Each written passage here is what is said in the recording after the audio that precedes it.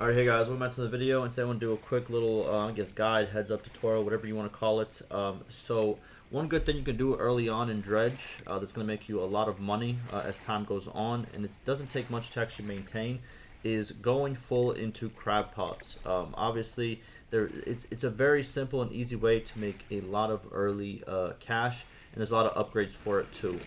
So, uh, currently, I have...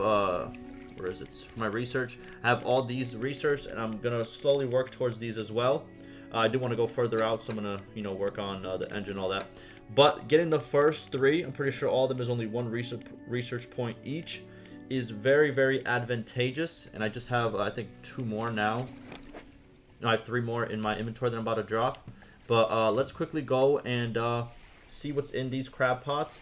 Uh, I was gone for about two in-game days doing a little bit of questing, kind of like over here and over here. So, therefore, they should be full. And again, this is a way for you to make a lot of money right when you uh, come back from doing something.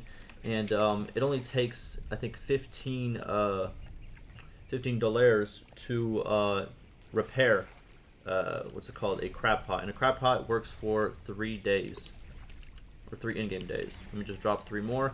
And you can put them all very close to each other as well. Let's see if it shows. Yeah, like the fish is, I mean, the crabs is always plenty over here. So you can just mass them all around just like this, this dock location that you're going to visit quite often, especially early game. So here's the first one. We got two big crabs. Let's uh, take all. We got some more. Can't even fit all that. And this is a great thing to do uh, in the evening time too if you don't want to get attacked by any monsters because obviously uh, they don't really get this close to the dock. Go here. I'm going to write this down as well so I give you guys the total. So first we have is 118 for our first drop off. There you go. Let's keep it going.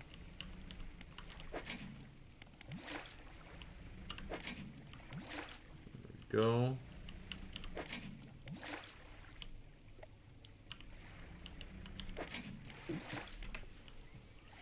Alright, now our second drop off. And this is only from two in-game days, literally. And most of the traps that I have currently are the, um, let me show you.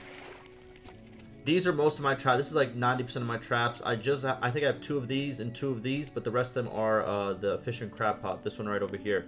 Which isn't the best, but um, it's the one that I unlocked first. And these aren't that good. Like, they're okay to kind of start out with. But once you do the research, I even suggest doing the research like right after you unlock crab pots because these are not that good. Uh, the yield, as you can see, is not great. All right, so next have is 128. Okay. Let's go back out.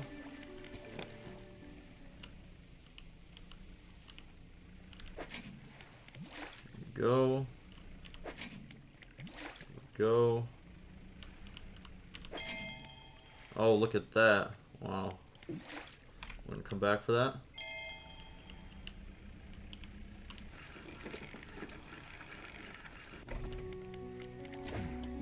One thirty-three. There you go.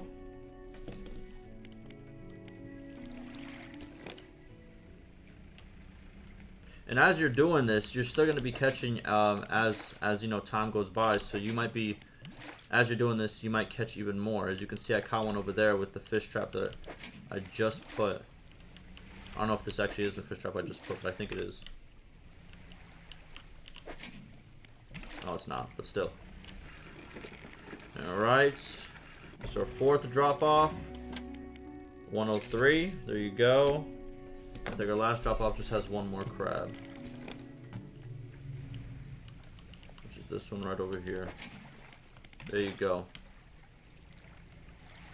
And by the way, don't put these too close to the side because you can take a lot of hull damage by trying just to get them and maneuver around. I made that mistake by putting them like alongside the um, like the beach front, and I just kept taking damage. So just put it kind of like in the middle. It doesn't really matter what it looks like.